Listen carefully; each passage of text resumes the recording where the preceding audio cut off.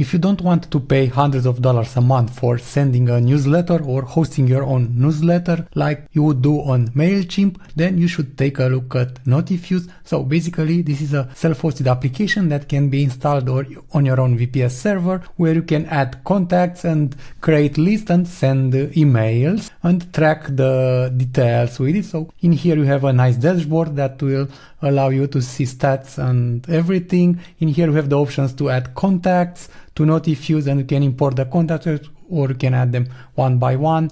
You can have the options to create lists then with these contacts and then send emails to this list. You have the templates and in here you will have the options to create a template from scratch or you can add an existing one and in here you will have a nice drag and drop interface that can be used to create your uh, newsletter and at the end after you finish you can go and broadcast the template. And in here you have some stats with the open rates, click rate. And for instance if you are clicking on this you will have access to the detailed statistics. And Notifuse can be used to be linked with an SMTP server or you can add your own integration with different providers that they have in here. So Notifuse is a great self-hosted option for a newsletter and this can be dropped uh, quite easily with the help of Dokploy. You can go and create a service. You can choose the template. In here you search the Notifuse and you can go and just uh, create the Notifuse